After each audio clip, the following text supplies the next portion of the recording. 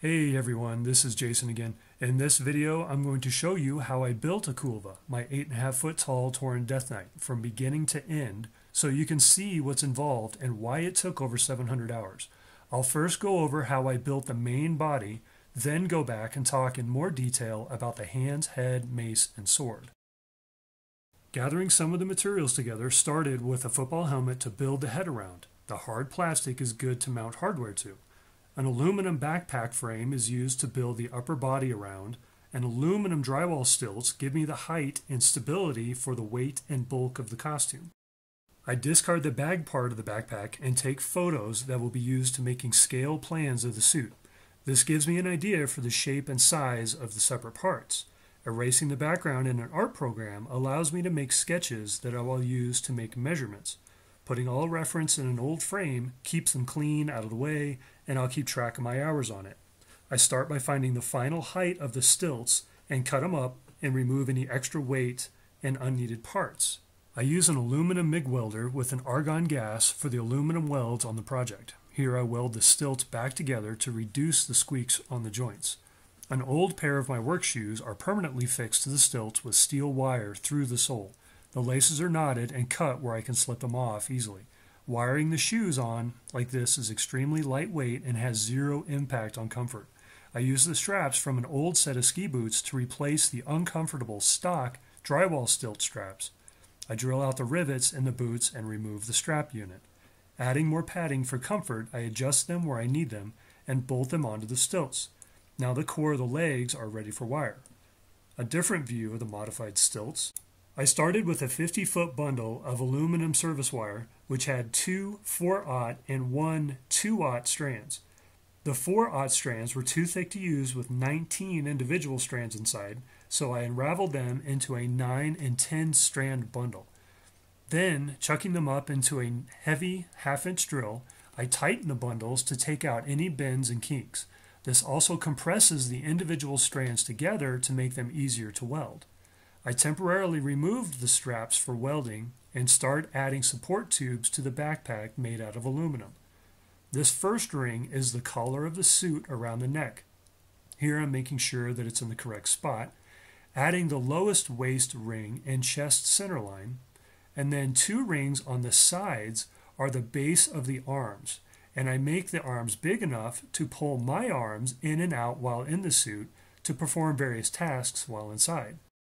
I like using this wire for making the costumes because it welds easily and takes any form you need to make. I make two welds per intersection of wire and make them on the outside to avoid making any rough spots on the inside. The internal structure is the same as a wireframe model from computer animation modeling. I make a mesh using squares that are around 4 to 5 inches. My first test fit. Notice my arms come out at the armpit of the Minotaur which will give the illusion of long giant arms after its shoulders are built up. I leave plenty of room in the back where I will mount some of the electronics. The wires are left long at the base until I know how the legs fit. The silhouette of the leg is chalked on the floor for a guide to shape the wires. Wires are sized and the first ring is welded on. Here's the outline of the leg and I'm able to weld the wire right to the stilt. Starting out with a few loops makes it easy to fill in the shape later. In the background, you can see the aluminum spool welder I'm using. Here's the outline taking shape, and I wanted to make the dog-legged shape of the leg while keeping my leg in a straight, comfortable position. The leg next to the chest to get an idea of scale, and when the suit is done, it will be about 8.5 feet tall. And by the time the suit is done, I will have used about 400 feet of wire. Remember that most of that was split in half, so it took about 70 feet of bundled wire to make. Here I use the first leg as a guide to cut wire so the second leg is the correct size and shape. I had to tape a shield over the shoe because molten aluminum was melting holes in the inside of the shoe. The space in front of where my shin will be is where I will store things, including the 12 volt battery, which weighs about 5 pounds. This way, the stilt is carrying the weight and will only affect me when I lift that leg to walk. Now, this is my third Minotaur costume, and after five other homemade stilt designs, just go out and buying a set of drywall stilts is definitely the way to go. The second Minotaur costume had a separate upper and lower leg, which looked odd when it walked because each piece would twist opposite the other. This suit will have a pivot point at the Minotaur's knee, which will look more natural, and that's the aluminum tube you see. Now both the upper and lower part of the legs are open in the back, so they're easier to put on. And here's a test fit of the legs before the upper thighs were built, and here's a completed upper body. I decided the upper body didn't go high enough, so I added more wiring to create more of a head or a back hump that Taurens have. The downside to this was there was not enough room for the helmet anymore, so I decided to change the head design. By adding the black supports you see, I could instead use these to mount the head so I didn't have to wear any headgear at all. For the arms, I took long pieces of wire and spooled them up like a huge slinky and mounted that to the body. Duct tape kept the rings flexible but limited the distance the coils could stretch. This allows the arms to flex in any direction and keep their shape. Here I made a custom duct tape exhaust port for the hot side of the air conditioning unit mounted in the back. A couple of parachute cord loops allow me a solid spot to lift the body or hang it for display. Now onto the hooves, which were about 20 inches in diameter and are built the same way as the body was. I stripped down a Class D amplifier which will be mounted in the chest and an 8 inch subwoofer in a custom sealed tube that is mounted in the leg of the large cavity in front of my shin. This is the Picotalk that takes my voice input and controls a servo that will make the jaw move. I screwed all of the circuitry onto a plastic plate that gets installed inside the chest wall. I use 1 inch upholstery foam for the next layer over the wireframe of the body and legs. I push zip ties through the foam with surgical clamps and around the frame to attach them.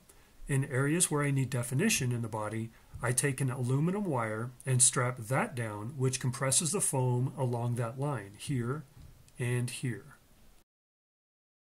The foam gives shape to the wireframe and also a great surface for gluing the fur to. I make sure to keep the upper and lower legs separate so the knee can bend. Here's what it looks like from the inside as I try to zip tie at each intersection. Here are some out of order photos, but to give you an idea of how the suit will fit. I actually like how not wearing a helmet pushed the head forward so he will appear more hunched over. Okay, back to foaming the arms. Foam strips just on the coils helps to keep the mobility so the arms don't bind up.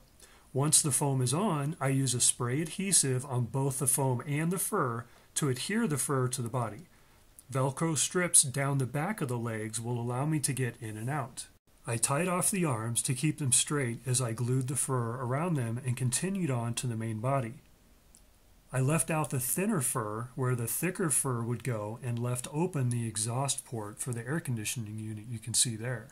I glued the thicker fur on in the same way, and I really like the way the fur feels with the foam under it. It feels like an 8 foot stuffed animal and here's what it looks like with the fur on.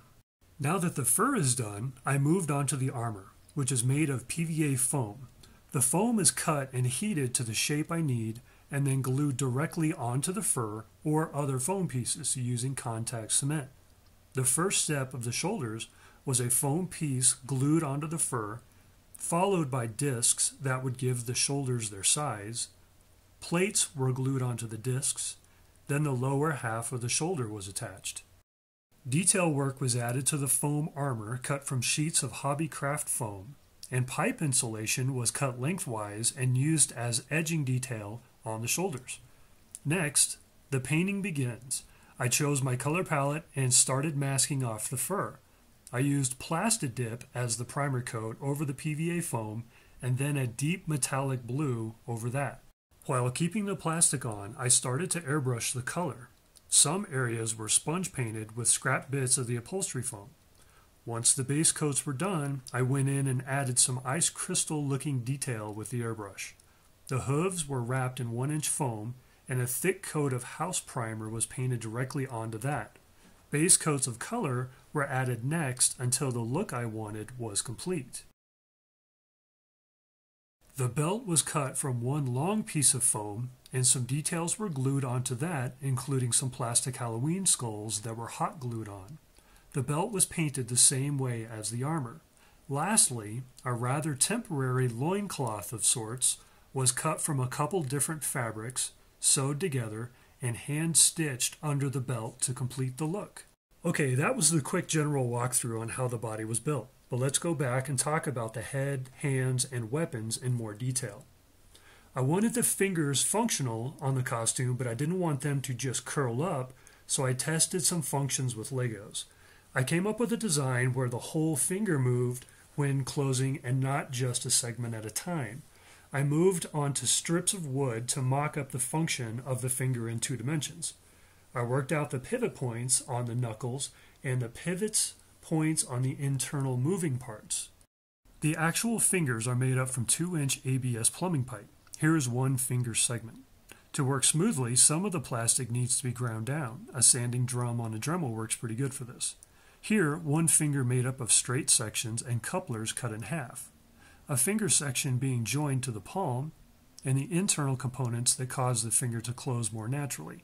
The internals will run the length of the finger. The finger curled up, but I decided to change the length of a couple of the finger segments, and starting to mass produce finger segments at a better looking length. Notice the ground down edges needed to make the joints move properly. I used a heat gun to close the tips of each finger. I also used 16 penny nails as the pins for each joint. And starting to assemble the palm, you can see a fist starting to form and in hindsight, I should have angled the thumb up a little bit more. The wrist is made of 4 inch ABS, and this is what I will slide my hand into.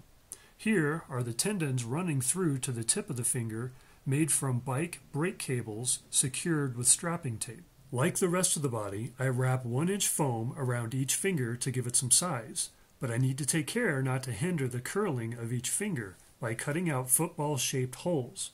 Once I give the hand its shape with one inch foam, I cover the gaps and holes with quarter inch foam glued on with spray adhesive.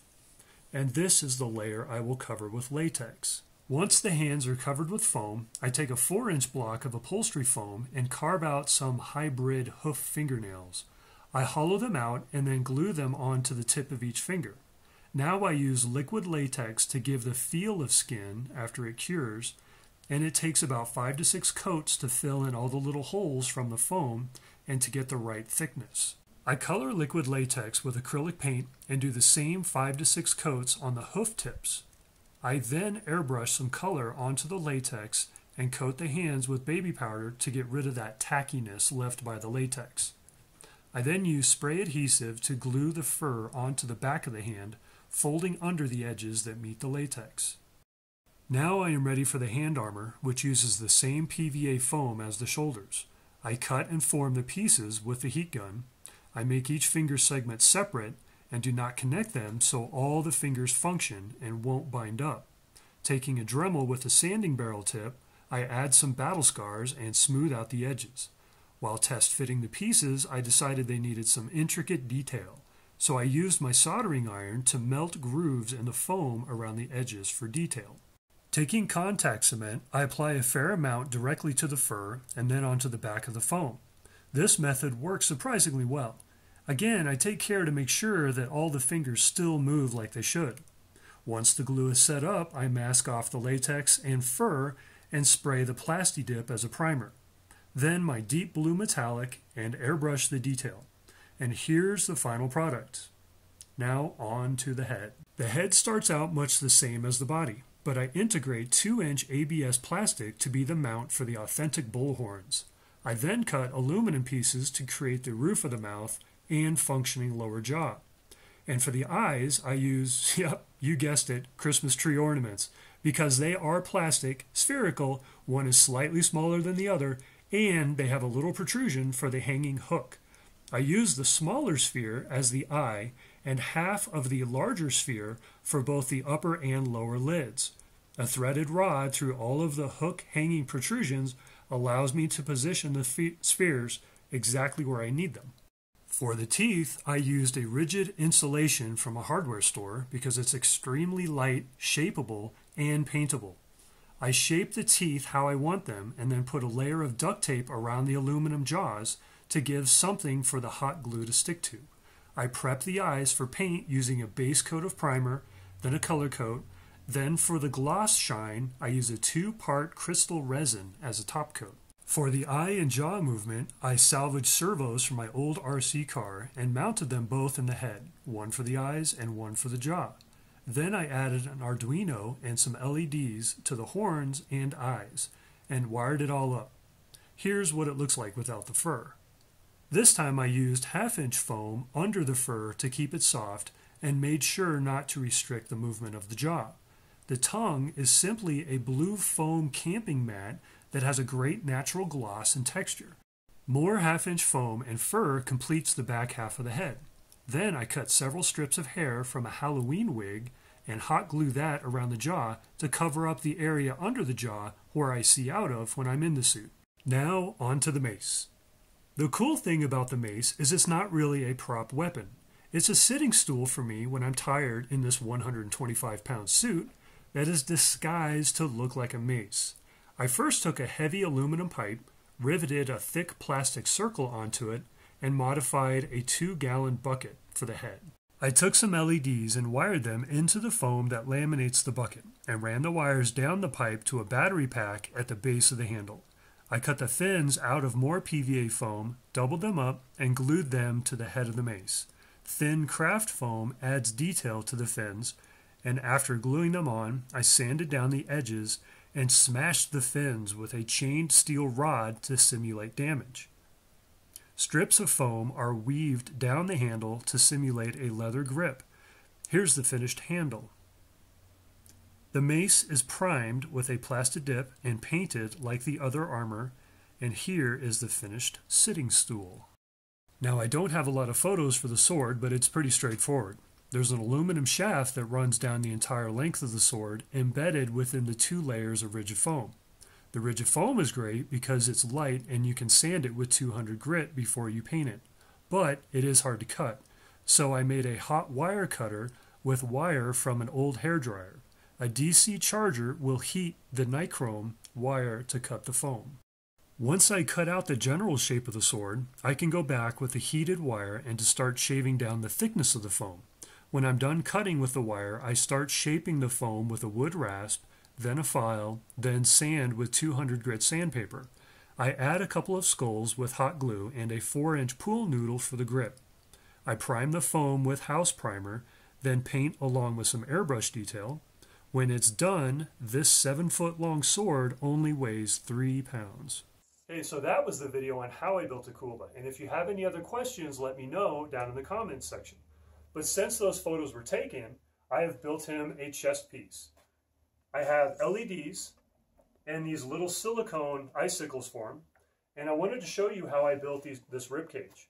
The rib cage is built out of this pipe insulation, which is foam. And then when you take a heat gun to it, you can reduce it in size, it shrinks down, and you can form it and shape it however you need. So let's take a closer look real quick. I'm going to lift up his hair and you can kind of see what the chest looks like.